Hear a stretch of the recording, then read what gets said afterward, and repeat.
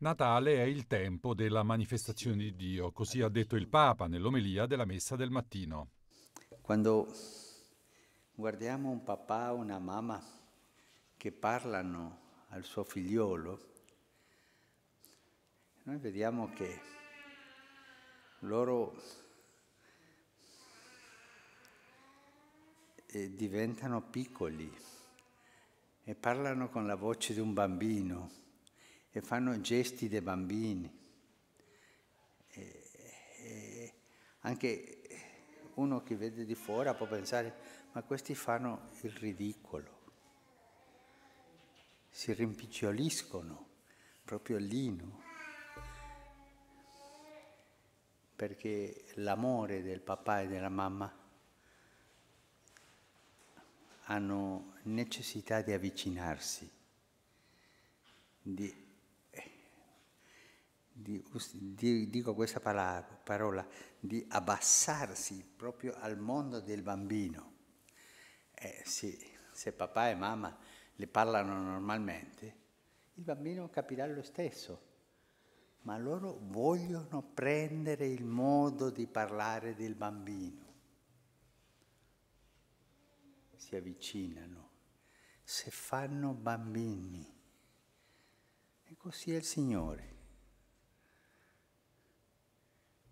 I teologi grechi, parlando di questo, dicevano una parola ben difficile, eh, la sincatavasi, dicevano, la condiscendenza di Dio, che discende a farsi come uno di noi.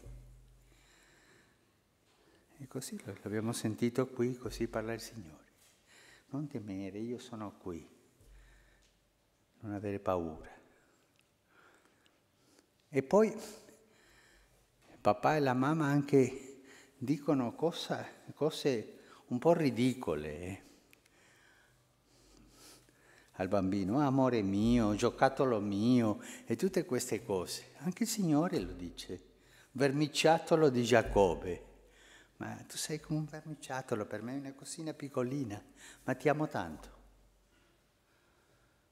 Questo è il linguaggio del Signore, il linguaggio d'amore, di padre di madre. Parola del Signore, sì, sentiamo quello che ci dice, ma anche vediamo come lo dice. E noi dobbiamo fare quello che fa il Signore, fare quello che dice e farlo come lo dice, con amore, con tenerezza, con quella condiscendenza verso i fratelli.